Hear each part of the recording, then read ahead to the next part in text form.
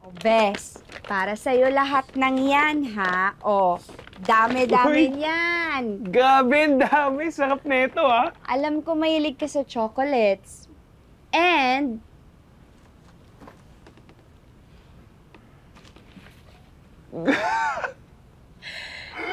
para mapalitan mo na yung lumang gitara mo. High school pa tayo niyan, di ba? Tagal na. Gabi, salamat, bes. Lakas ko talaga sa'yo, ah. Siyempre, mahal kita. Ha? Bes, siyempre love kita. Ano ba yan? Hoy! May copy ka pa pala nito. Big, tignan mo ang pangit-pangit ko ba dyan, pero ang cute. Bes, yung invitation ni Kyle, tatanggapin mo ba yun? Alin? Yung, yung dinner? Ewan ko. Pag-iisipan ko pa. Basta mag-ingat ka dun, ah. Baka nakalimutan mo ni mga ginawa sa'yo nun. Siyempre, never know.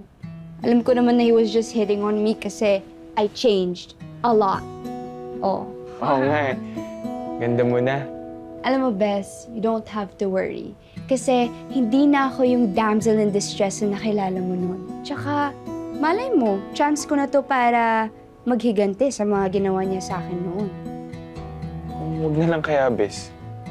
Bess, don't worry, okay? Akong bahala.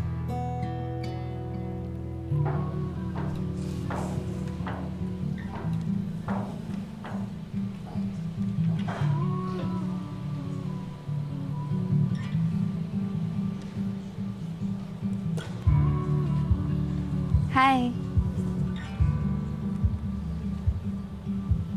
Hindi mo lang ba ako papaupuin? Oh, sorry, sorry. Ka dito.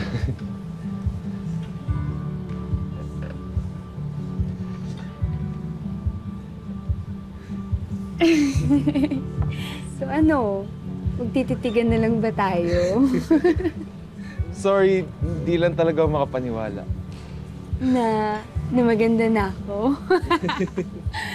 na malayo sa binubuli mo noon? Andrea, matagal na yun. Hindi na ako yung taong yun. Nagbago na ako. Parang ikaw lang. People can change, you know? Alam mo, hindi lang din ako makapaniwala na ikaw, yayayain ako for a dinner date. Bakit naman hindi? Alam mo, I'd like to get to know you better. Ang tagal na rin nating di nagkita, so... Well, at least, matino ka na. Siyempre naman, sabi ko nga sa'yo, nagbago na ako. Di ba? Okay, pero hindi ako agad maniniwala. Kailangan mong patunayan. Andrea, papatunayan ko talaga sa'yo na nagbago na ako. Promise. Para sa'yo. Kain na tayo. Sure. Anong gusto mo? Alam mo ba, malapit na talaga ako maniwala na nagbago na siya. Bes, nagkwento na siya tungkol sa mga struggles niya when he was starting his own business. And tunog responsable na rin siya, Bes, ko naman. Naniwala ka naman agad. Bakit naman hindi? Uh, yush! Uy, Nagsiselos yung besi ko. What? Alam mo, Bes, you don't have to worry, okay? Di ko naman agad sasagutin si Kyle. Pag-iisipan ko talaga ng maigi. sasagutin? Bakit nililigawan ka niya? Nagsabi siya. Pero alam mo, ilap mo nga about it. Alam mo, yan. Anong ginagawa mo? Pag-usapan natin yan. Tinatapos ko tong piece na to. Remember, sinabi ko sa'yo noon na meron akong kantang ginagawa.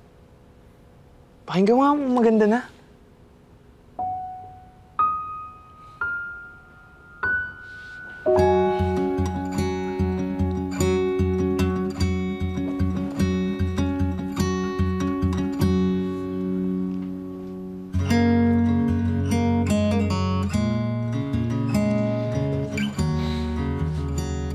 Ay, Bes.